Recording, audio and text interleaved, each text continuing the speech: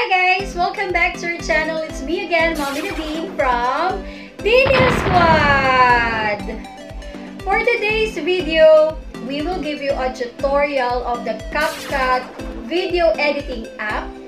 Pero bago yan, intro muna tayo.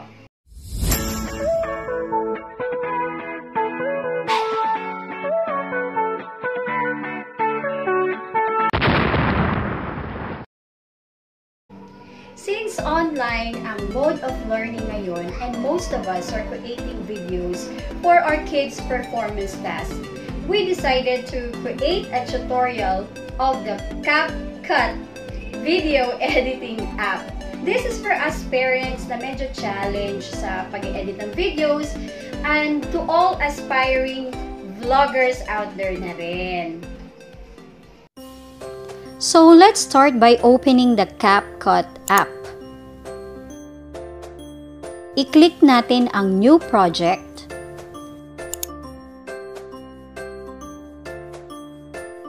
Then, select the video clips na gusto nating isama sa project.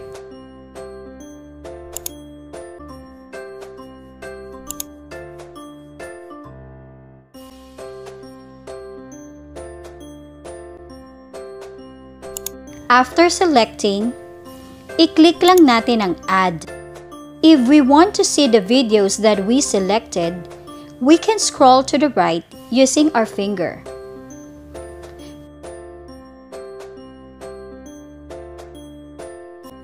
Kung gusto nating baguhin ang sequence ng videos, i-click lang ang video, i-hold at wag bibitawan, drag where we wanna put it, then let go. Let's do it again. Click the video, hold, drag,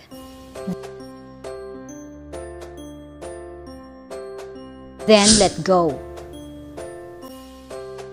Sa CapCut, there are two ways to trim or cut a video clip. First, we can click on the video, grab either side, pwedeng sa end or start ng video, drag until where we want to trim it. Second is by using the split option. As you can see, the video clip was divided into two. Select lang natin ang part na gusto nating tanggalin, then click delete.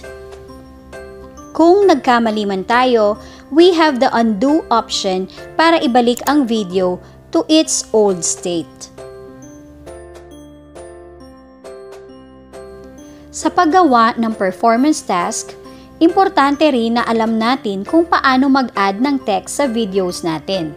So, i-click natin ang text option. Tapos, click add text. Then, type the text using the keyboard. Pwede rin natin i-drag ang text kung saan natin siya gustong ilagay sa video. We can also select effects for our text to make it more visible.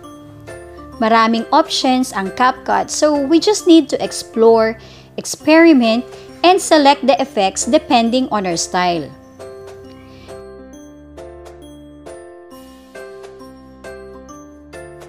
Kung wala tayong napili sa effects, pwede tayong bumalik sa style. Marami rin options dito to edit our text. So, explore, experiment, and select lang ulit tayo.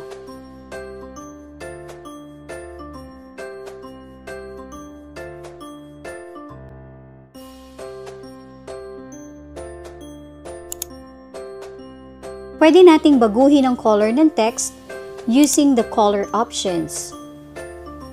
We also have different font styles to choose from.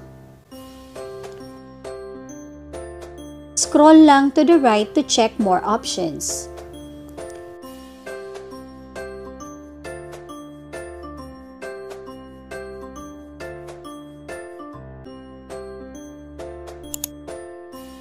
If we want to make it more visible, click natin ang stroke option, then adjust natin ang thickness nito.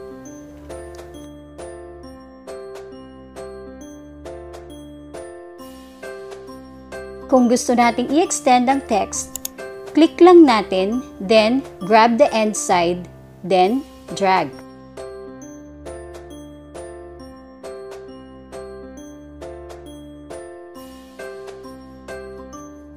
Now, let's proceed to putting animation sa videos and text natin. Click the animation option. For this tutorial, we will put an in animation sa video natin. Again, we have several options to choose from so explore, experiment, and select ulit tayo.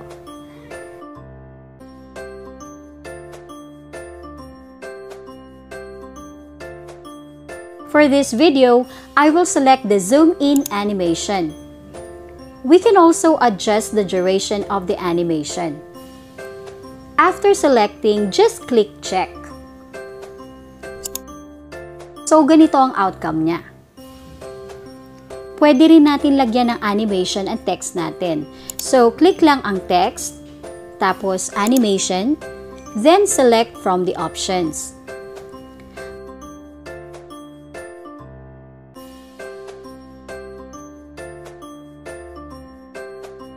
Let's match the animation that we used in our video.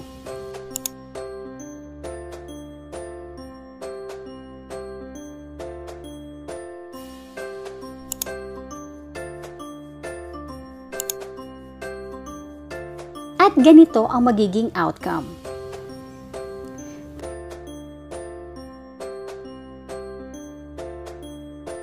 Pwede rin nating itrim ang text by dragging or using the split option.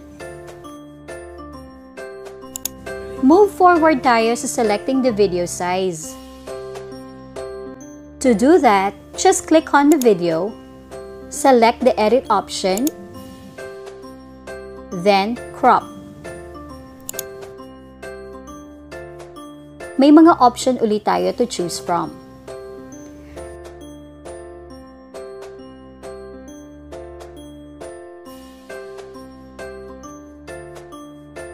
Sa mga TikTok videos, ang size is usually 9 by 16. But in our videos, we usually use 16 by 9. Now let's talk about the overlay option. We use this if we want to add a video or photo on top of another video or photo. To do this, i-click lang ang overlay option, add overlay, then, select the video that you want to add.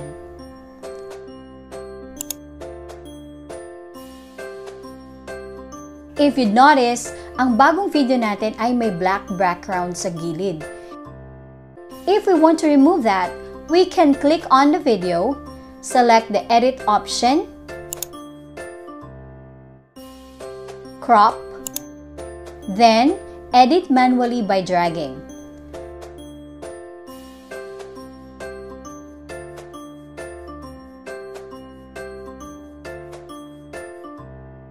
After editing, click Check. We can adjust the size of the second video using our finger and choose where to put it.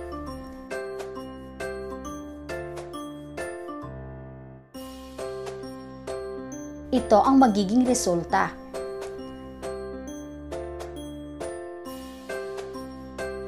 Our last stop is adding background music on video just click on the audio option, sounds, and select from the options.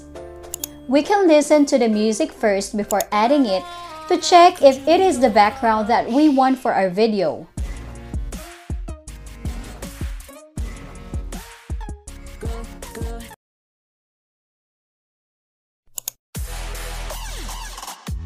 Pag nakapili na, just click the plus sign. To adjust the volume of the sound, click the sound, volume option, then adjust.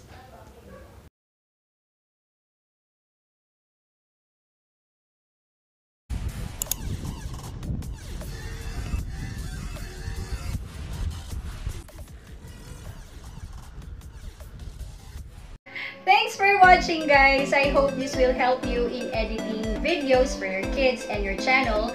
And please watch out for our upcoming videos for more advanced editing tips using the CapCut video editing app.